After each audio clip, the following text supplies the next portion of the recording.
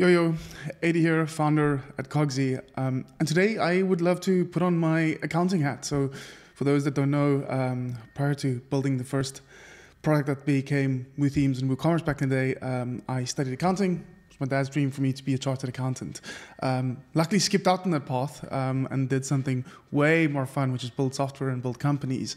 Um, but that hat has always been one that I wear often in my businesses. So, in this short little video here, I really want to talk about working capital um, and what that means for, for modern re retail brands.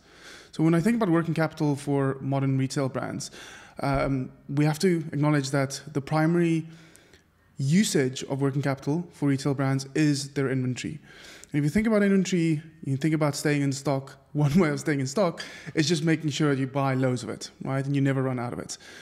But having that working capital sit there um, means that there's an opportunity cost of not being able to use that capital for other things.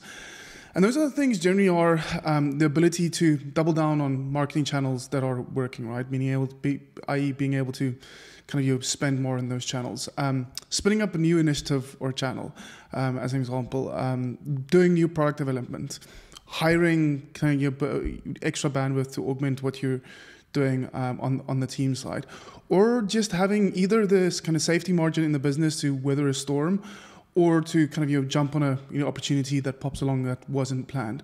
So for all of those reasons, it's really important to optimize your inventory and ultimately optimize your working capital to allow you to also at least consider these other avenues of growth. As I said, start with a bit of a accounting kind of mindset there. Um, kind of you using using words like working capital.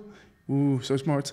Um, but it really is about thinking how do you kind of get your business and your brand the jet fuel that it needs to grow.